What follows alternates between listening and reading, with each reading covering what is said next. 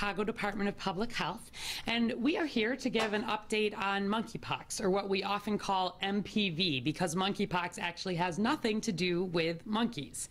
I'm really pleased to be joined uh, by a number of experts and partners uh, here in Chicago. We'll hear from uh, David Ernesto Munar, who is the president and CEO of Howard Brown Health, uh, Dr. Stockton Mayer uh, from the Department of Infectious Disease at the University of Illinois at Chicago, Dr. Elizabeth Davis, the medical director of Community Health Equity um, at Rush University Medical Center is here, uh, and then Alderman Tom Tunney um, from the from the 44th Ward. Dr. Luna will also give remarks uh, in Spanish. She's our medical director at CDPH. So I recognize that there are folks in Chicago who know a lot about MPV, and I know that there are folks who are maybe just starting to hear about it. So I wanted to set as a baseline what are we seeing in this outbreak? This is a global outbreak.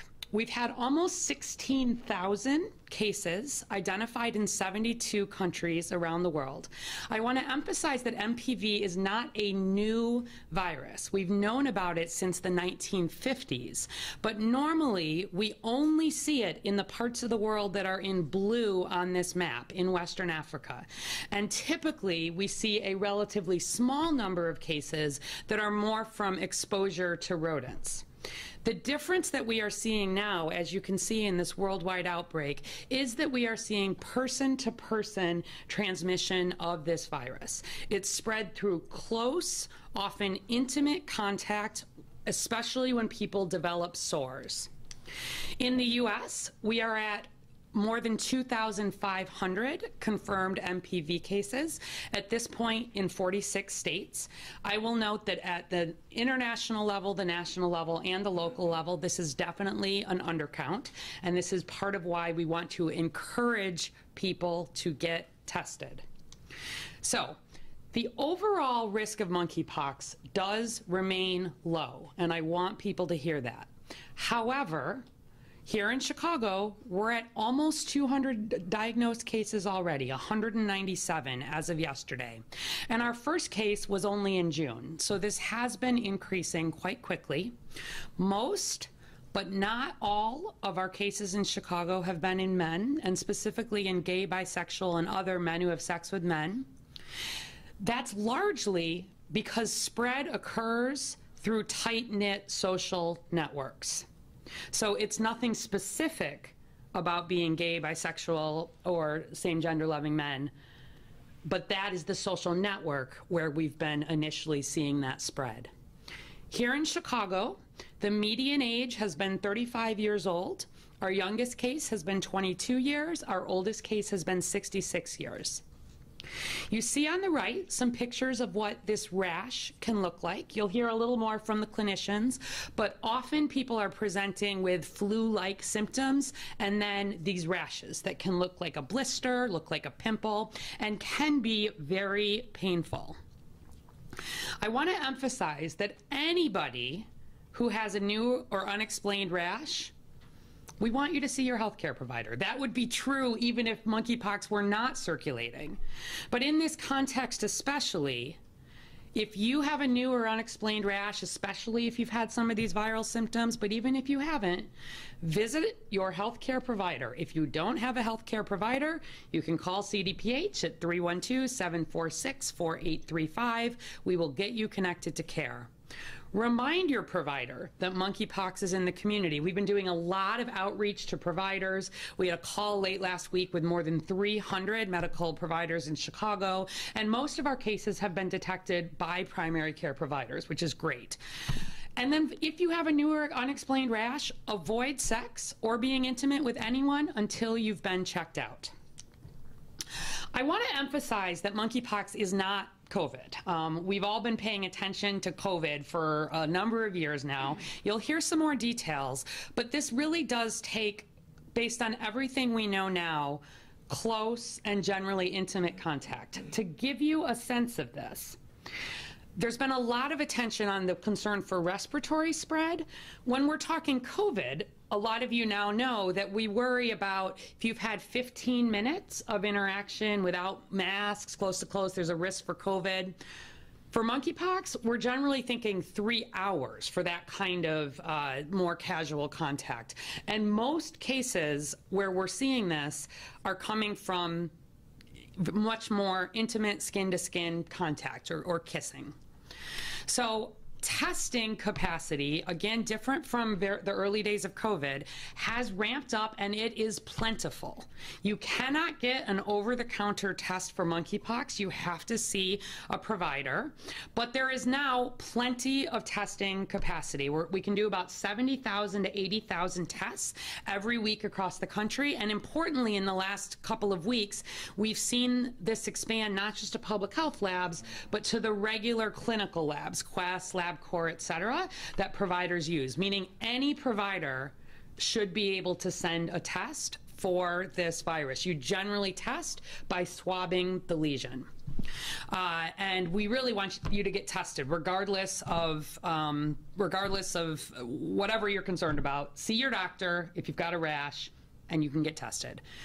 Treatment is also available, but I want to emphasize there still are some some barriers here. There's an FDA-approved medication uh, called um, TPOXX is the name. It's a pill.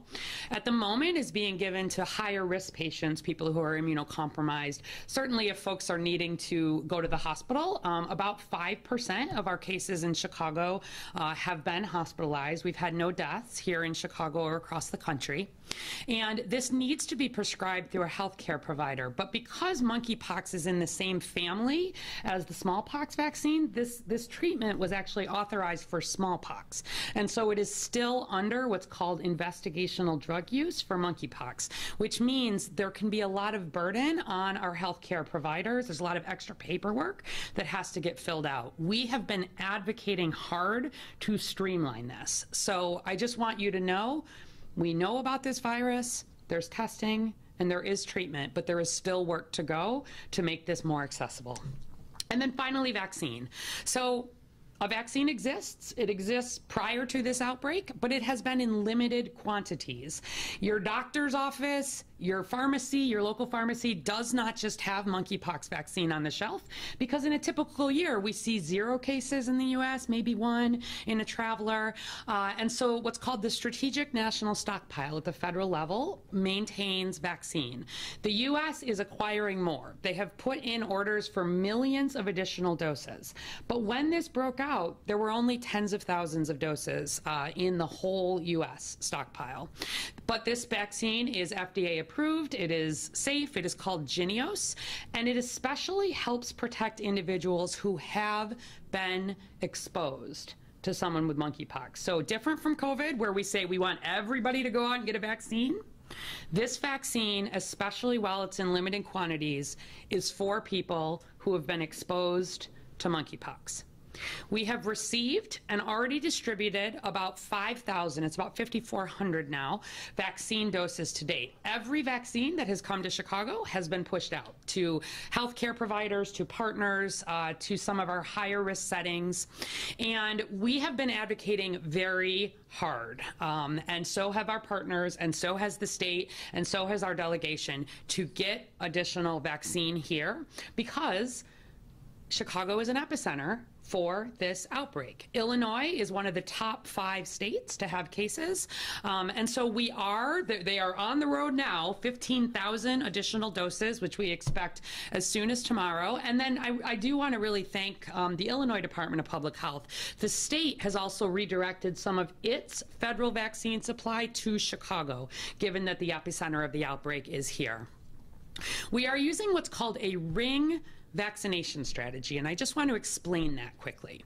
So on the left, if you imagine an individual in red there who is infected, our top goal is to vaccinate all contacts of that infected case, what you see in the middle. And then if you are able to successfully vaccinate all of the contacts, you then are able to often stop the chain of transmission. If one of those additional people, one of those contacts gets COVID, you then vaccinate the ring around them. This is how we prioritize and work to control outbreaks, especially when vaccine is limited. So anybody in Chicago, it does not matter if you are a close contact of a confirmed monkeypox, uh, monkeypox case, we will get you vaccine. A first dose and a second dose, we have lots of ways to do that quickly.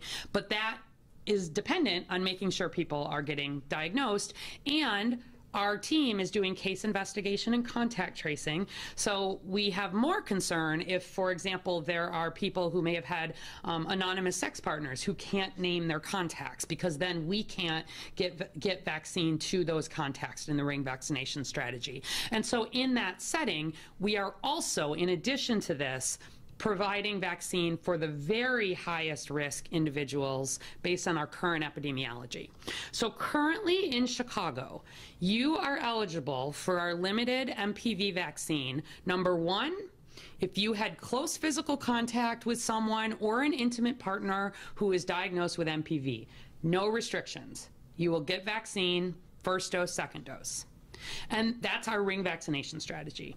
And then secondly, if you are a gay, bisexual, or other cis or trans man who has sex with men, but who also has another risk factor, so the other risk factors are having had intimate or sexual contact with other men in a social or sexual venue, having given or received money um, or other goods or services in exchange for sex, or having intimate or sexual contact with multiple or anonymous partners. And again, this gets at settings where we have trouble identifying everybody for that ring vaccination strategy. MPV vaccine is not recommended for the general public, and at this time, that includes not being recommended for same gender loving men who do not have those other risk factors. As vaccine supply increases, that guidance will evolve, we'll push more out.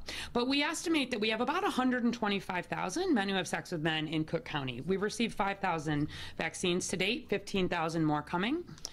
We have decided to prioritize first doses of this Jynneos vaccine with the new 15,000 that are coming, and I want to explain this. Um, if you look at the FDA label, you do receive two doses of the Jynneos vaccine. You get a first dose, and your biggest increase in protection comes after that first dose. And then the recommendation is that at least 28 days later, you give that second dose. We don't see any problem with a decrease in immune response if that second dose is somewhat delayed. And so, similar to what the UK is doing, Canada is doing, some other cities here are doing, we have decided that with those 15,000 additional doses, we will especially be doing first dose focus on the highest risk individuals. We will continue to give second doses anybody who's already been scheduled anybody who's immunocompromised, any known contacts of cases. This means that there probably will be some individuals that may wait longer than four weeks to get that second dose. But again, I want to be clear that the highest amount of protection comes after the first dose. Um, and we know that, particularly in the summer, we have a lot of festivals, we have a lot of travelers. We're higher risk generally for spread of diseases. Um, market days is coming, and, and a vaccine does not take effect right away. That's the other thing. It takes about two weeks, 14 days for that protection uh, to kick in. And so, with that, um, you will hear some more. Uh, we also have specific guidance around um, limiting your risk in terms of limiting some of the higher risk activities. Uh, Again, I'm going to turn it over to partners, but we imagine folks will have questions. Um, we appreciate your interest. I want to emphasize this is not COVID but this is absolutely something to take seriously and to make sure we are getting protection where it is most needed. With that, I'll bring up David Munar, the president and CEO of Howard Brown Health, a really critical partner for us in these efforts. Good morning. Uh, my name is David Ernesto Munar. I'm president and CEO of Howard Brown Health, the LGBTQ Community Health Center in Chicago with 11 locations from Englewood to Rogers Park. Uh, I want to thank Dr. Arwady and the Chicago Department of Public Health, uh, partner agencies, uh, and community, mobilized community members for responding with urgency and compassion to this growing crisis. Uh, responding vigorously now is critical for us to stem the spread of this new infection and to support communities that are most affected. And Howard Brown is so grateful for the vaccine supply that's, that's been made available to our clinic locations. Uh, we've surpassed uh, 1,000 doses administered and have prioritized vaccinations for communities most at risk.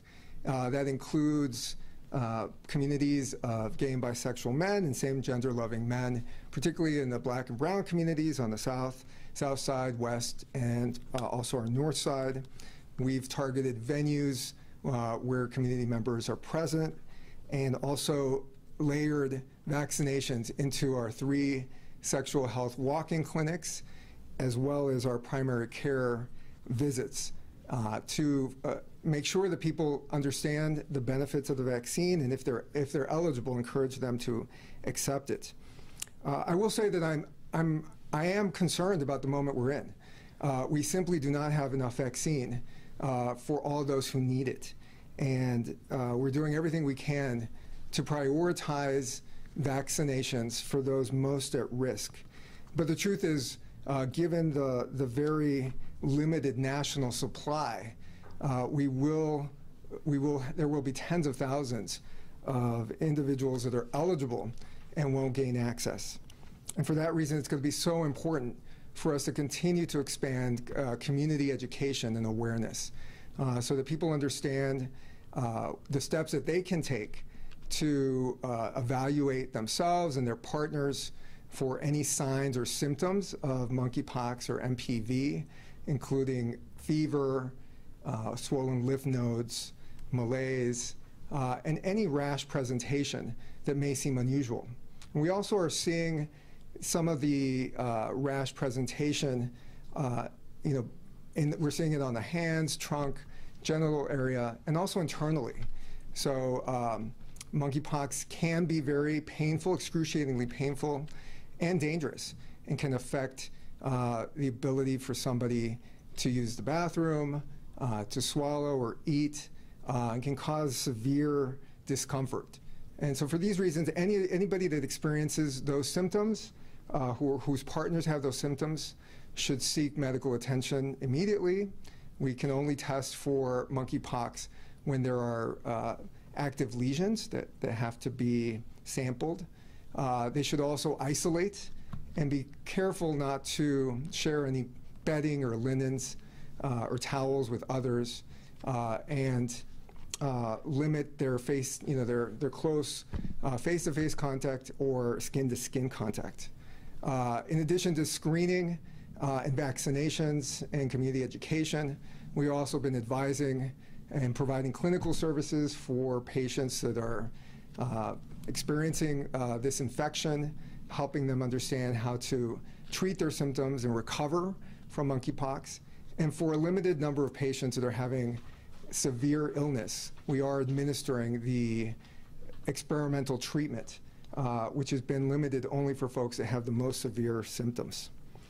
Uh, I want to thank uh, our engaged community members who are helping us sh uh, share information that's accurate uh, so that everyone can take steps uh, take steps to help control the infection until vaccine supply expands. Um, and I want to thank the, um, the staff of Howard Brown uh, that's been doing an amazing job uh, responding to this pandemic, and we'll continue to work with the city and our partners to do all we can to contain uh, this new virus. Uh, with that, I want to turn it over to Dr. Mayer from University of Illinois, Chicago.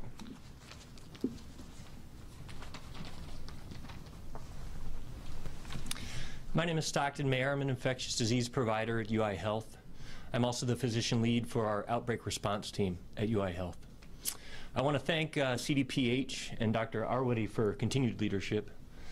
And I want to thank our partners and friends at uh, Howard Brown and uh, Rush University uh, for their collaboration and, and friendship during this time. If there's one thing I want to emphasize, it's the simple word together. Together, we have already delivered many vaccine uh, doses to those at highest risk, and we are positioned to deliver many more as supply increases. We have been able to work together quickly and efficiently because we work together with the many vibrant community-based organizations and local businesses that serve those at greatest risk. We deliver vaccine on site where people work, live, and socialize taking prevention to the community. We will continue to work together to make sure that the vaccine reaches our south, west, and north sides equitably so all of Chicago benefits from its use. We will remember that if there is one of us at risk for getting sick from this virus, we will work together to make sure they are protected. We take great pride in working as a broad healthcare team, and we believe that together we can make a healthier summer. With that, I'd like to turn it over to my friend and collaborator, Liz Davis from Rush University. Hi, thank you, Dr. Mayer, for your introduction. I'm Dr. Elizabeth Davis. I'm a primary care physician at Rush University Medical Center, and I'm also the medical director of community health equity at Rush. And in that role, have been leading our monkeypox response. I want to thank Dr. Arwady and the CDPH team, along with UI Health and Howard Brown. We've, as Dr. Mayer just so eloquently said, we have all been working together to fight this. And, and I think that's the only way that we can move forward. But it's not just our healthcare organizations and our public health organizations. It really is the engaged community members, businesses, and community organizations that have helped lead this response and help get our highest risk Chicagoans protected by the vaccine. In addition to the monkeypox, monkeypox uh, response that I'm leading, I am also a primary care physician. I saw a patient last week who I diagnosed with monkeypox when he came to me with flu-like symptoms, and it turned out he also had a rash. He had severe disease, and we were able to get him treated. And I share this because I think it's important that as a community, we all know what the symptoms are. So we've gone over them, and I'm saying again. Rash, which in the beginning can look like some small bumps, like Dr. already showed. Swollen lymph nodes, which can be in the neck, can be in the groin, can be in the armpits. Fever, and muscle aches.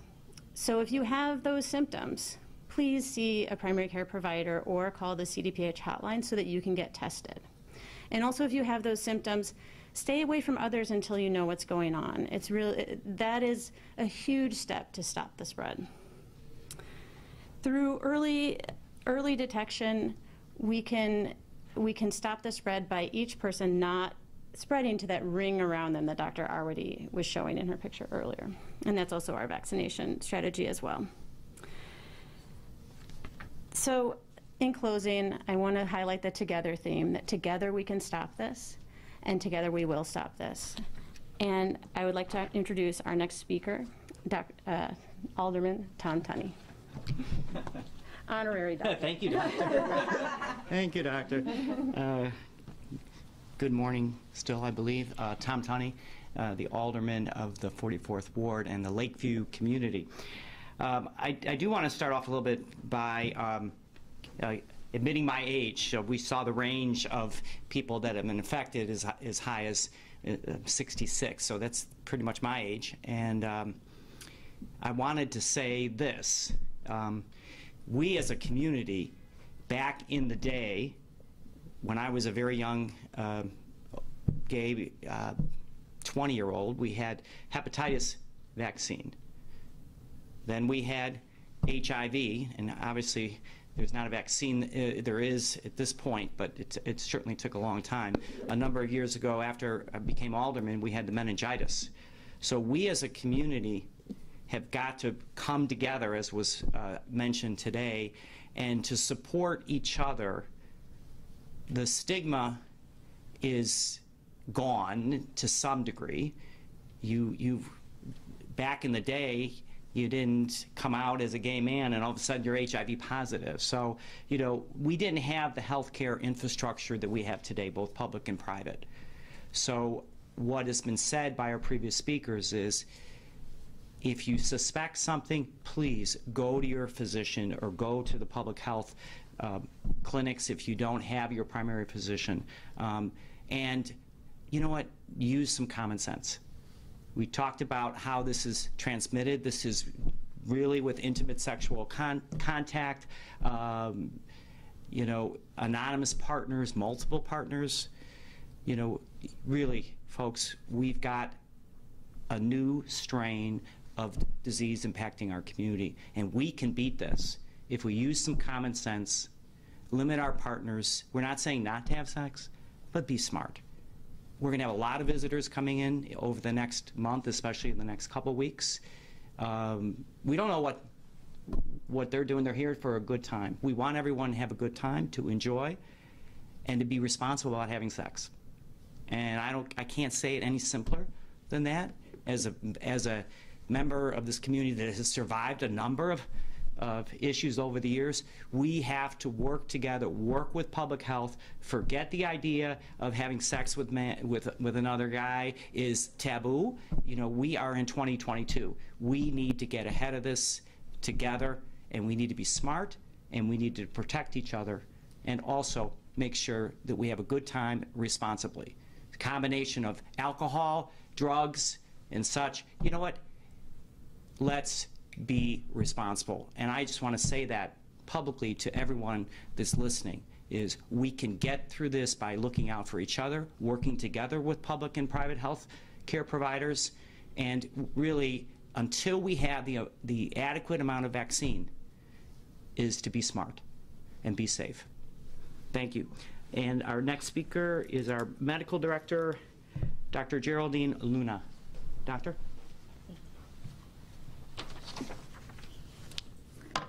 Muy buenos días. Yo soy la doctora Geraldine Luna. I'm Dr. Geraldine Luna. This part of the talking points is going to be in Spanish. Soy la directora médica del Departamento de Salud Pública y quiero compartir con ustedes actualizaciones de lo que es el virus de la viruela del mono. Hasta el 21 de julio, 197 habitantes de Chicago han sido identificados como infectados con la viruela del mono. También se le conoce como el MPV. Illinois reportó un total de 230 casos, el segundo más alto en todos los estados. Tenemos el virus aquí y se está diseminando rápidamente. Por eso es importante poner atención a las recomendaciones del Departamento de Salud para evitar los contagios y tener más infectados hasta que tenga- tengamos una vacuna. La mayoría, aunque no todas las personas que hemos detectado, son hombres, la edad media es de 36 años, entre un rango de 22 y 66 años. Alrededor de 5% de los casos han sido hospitalizados y no se conoce muerte por la viruela del mono aquí hasta este momento. El virus se propaga a través de contactos cercano, de piel a piel e íntimo. Y a diferencia del COVID-19, no a través de un, co- un contacto más casual. Actualmente, el virus de la viruela del mono afecta y se propaga principalmente en hombres homosexuales, en bisexuales, hombres teniendo sexo contacto íntimo sexual con otros hombres en lugares sociales o sexuales, que tienen parejas múltiples o anónimas o que reciben dinero por proveer bienes y servicios a cambio de sexo o que lo dan. Algunos de los métodos más efectivos que tenemos para contener el brote del virus del mono o la viruela del mono son evitar ese contacto de piel cercano y prolongado con cualquier persona que sea diagnosticada con el virus o que muestre signos de infección con el virus. Fiebre, malestar, tos, destornudo, salpullido o llagas en la piel. Y es importante hacerse la prueba de la viruela del mono tan pronto experimente síntomas similares a los que acabo de describir. Las pruebas de la viruela del mono están ampliamente disponibles. Queremos que si siquiera lo sospeche, se haga su prueba. Es vital para evitar la propagación y diseminación de esta enfermedad. El CDPH ha distribuido 5.400 vacunas de Genius, que es para la viruela del mono, que se recibió, que ya se ha recibido en, en los centros clínicos comunitarios y los lugares sociales. También se espera que reciba 15.440 dosis adicionales del gobierno federal tan pronto como hoy así como 2.600 de la asignación del estado de Illinois, como anunció el gobernador Pritzker el jueves. El Departamento de Salud Pública también ha trabajado con socios para dirigir la vacuna que ahorita está muy limitada a las personas con mayor riesgo y espera la entrega, como ya les dije, de 15 mil dosis al día de hoy.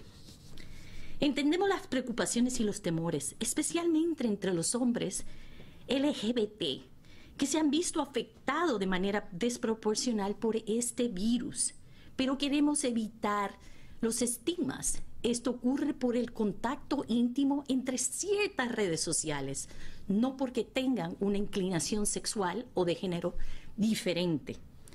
Pero pedimos que hasta que haya suficiente vacuna para una distribución más amplia, los miembros de la comunidad entiendan que el Departamento de Salud Pública está tratando de priorizar la vacunación a aquellos que están a mayor riesgo y permitir que los miembros de la comunidad se vacunen.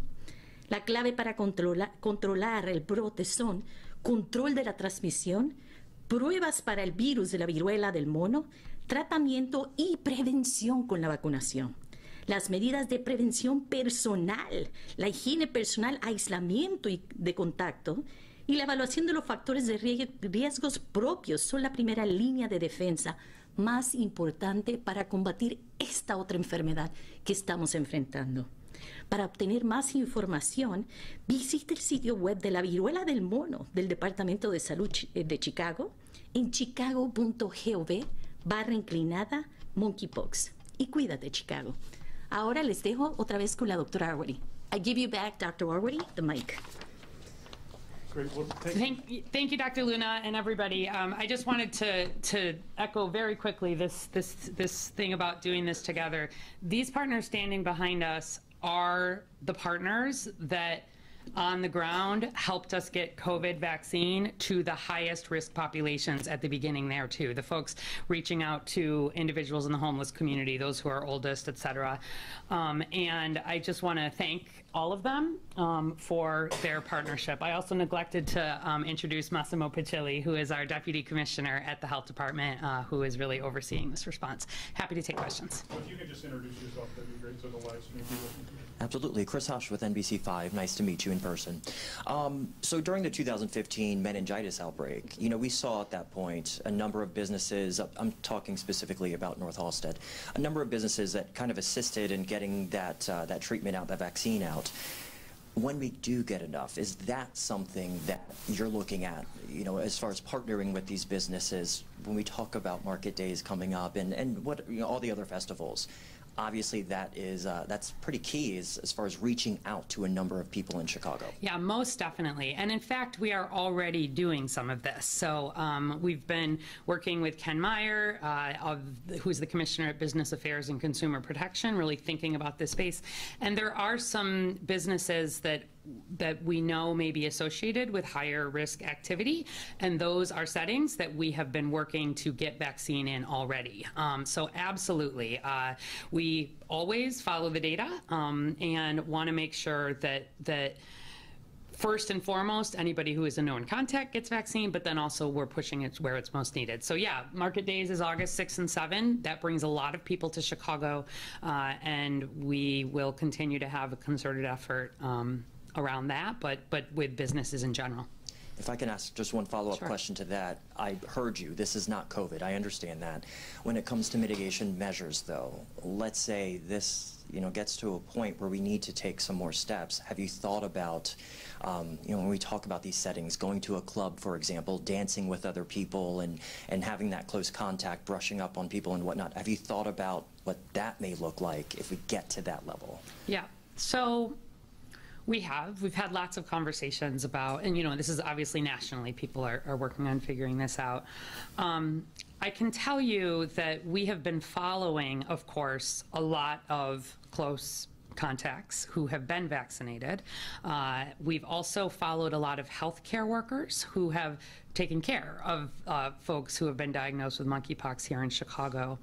And we have seen, um, we've seen no monkeypox conversions in healthcare workers, just to be clear, even some who had higher risk exposures, maybe didn't have PPE on, et cetera, uh, which doesn't mean we don't want to make sure the protection is there, but that's reinforcing for us that some of the more casual contact, it's possible, but it's not, based on everything we know now, that high risk. Um, among contacts, especially those who were vaccinated early, we also have generally seen that vaccine do a very good job of preventing further spread. Nothing's 100%. So we are not considering at this point canceling events, closing venues. Um, we are continuing to focus on getting this messaging out around uh, ways to decrease risk related to behavior um, and to work on getting this vaccine out. And that's why we've been pushing so hard for additional doses because we think it is going to be a combination. The difference with meningitis is there was plenty of vaccine. Um, and when we have plenty of vaccine, it becomes more about um, explaining to people, you know, why they need to get the vaccine. And, for, you know, it's a difficult situation for us to know that there are many more people who I would like to be vaccinated right now than we have the ability to vaccinate. Um, but I think um, we will obviously continue to monitor as this grows, um, and I do expect it will continue to grow. Uh, Mark Rivera from ABC7 Chicago. Um, so, can you please go over just the prioritization again for Yes. those vaccines? Because, Sure. as you said, uh, you're talking about we don't ha- really have enough to get everybody that, that could be or should be. That's right. Um, in terms of the at risk group that may be getting the first dose and not the second Sure. versus the two doses. Yes, absolutely. So first and foremost, anybody with that ring vaccination strategy, anybody who is a known contact of someone diagnosed with monkeypox gets vaccine. Two doses. That has happened, that will continue to happen. Doesn't matter who you are, doesn't matter what other risk factors. If you're a known contact, that's our top priority. Our second priority then are the those at the highest risk, and among that group, people who are not known to have uh, a known contact, but who may have had um, behaviors that could put them at higher risk. That is the group where we have made a decision moving forward with this next 15,000 doses to prioritize getting the first doses out, because um, otherwise if we're getting 15,000 doses and I was holding back 7,500 of those doses to give a second dose in four weeks, I could only vaccinate half as many people. We've this has been a major conversation in public health across the country and even around the world. Um, and I think settings that are having significant outbreaks, this is the right approach. Um, and so, uh, for those individuals, there is a good chance their second dose may be delayed. Um, and as the vaccine supply improves, we would of course schedule those people. We know who they are, get folks in for second doses. But um, and if they became a known contact of a case, of course we would do a second dose. We've also made an exception for individuals who are immunocompromised. We will do second doses for them. And if there are others that our clinicians, you know, feel like it's very important, we might make an exception. Um, but that is how we are right now prioritizing limited doses of vaccine. We've looked at all the data um, and feel that that is the best way to control this outbreak at this time. And, and can you just reiterate who is that higher risk group? Higher risk Yes. So right now, besides people who are known contacts, the other people in Chicago who are eligible for a vaccine are men who have sex with men, who also have another risk factor. And those risk factors are um, having sexual or intimate contact in a social, social or sexual setting, exchanging money or other goods for sex, or having multiple or anonymous partners in recent weeks. So it really, and the reason that we emphasize those is those are the folks where we have trouble doing the contact tracing. And so we can't as effectively do that ring vaccination. I will add as one other, just in addition to all the um, really good suggestions and um, specifics, is I would ask people right now that if you are um, having close or intimate or sexual contact with anybody, please make sure you have their contact information. Um, sometimes we see people connect with each other on apps, etc., or you're meeting someone, you may not have their information. Make sure you have information because if either of you were to test positive, we can then, in a way that is anonymous and protects your privacy, make sure that contact uh, can get vaccine. So that's just another very practical um, risk reduction measure right now.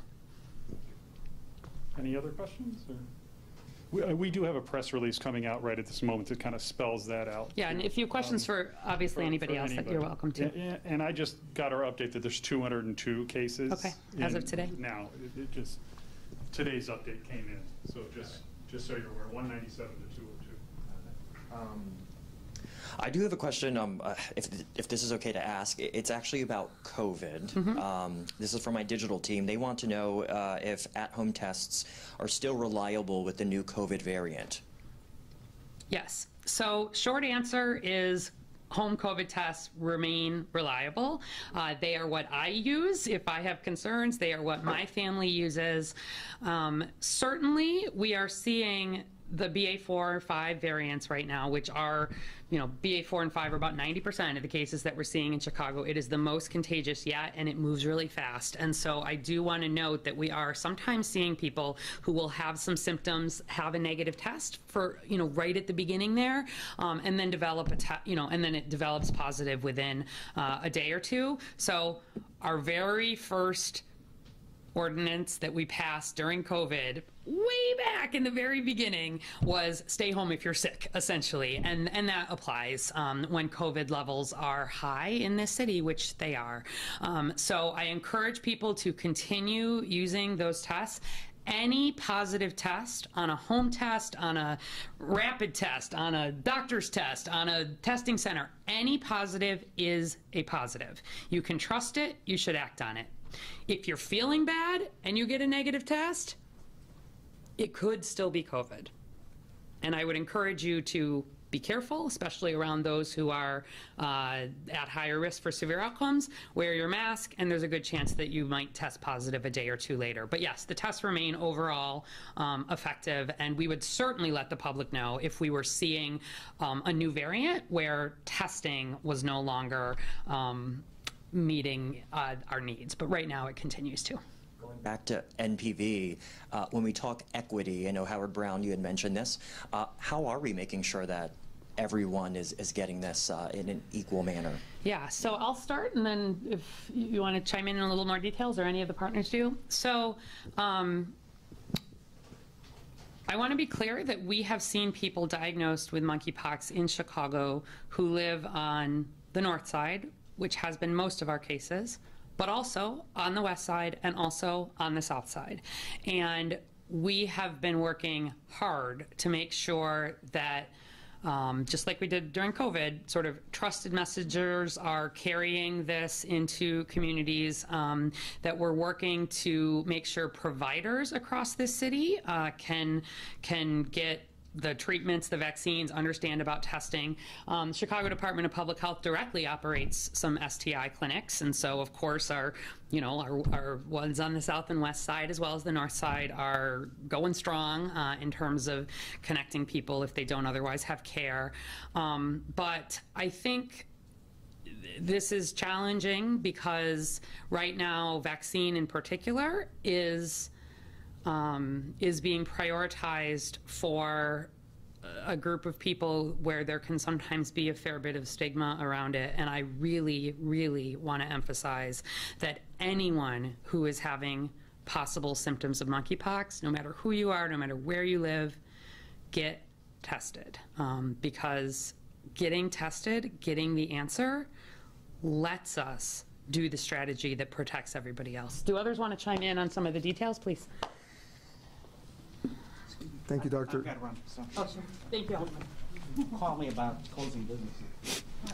We tried that with HIV, and that didn't work. I will. Uh, Thank you, Dr. Arwady. Thank you for the question. I think we, we've been thinking a lot about how to make sure that the response is equitable and reaching people who need it the most. Certainly, destigmatizing this, um, uh, this outbreak is going to be really important.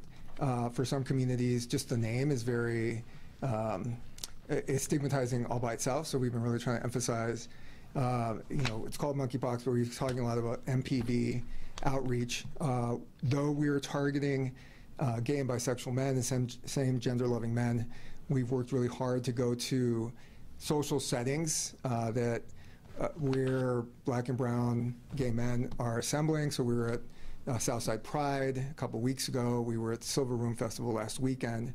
We've gone to venues uh, north and south to make uh, both information and vaccination available.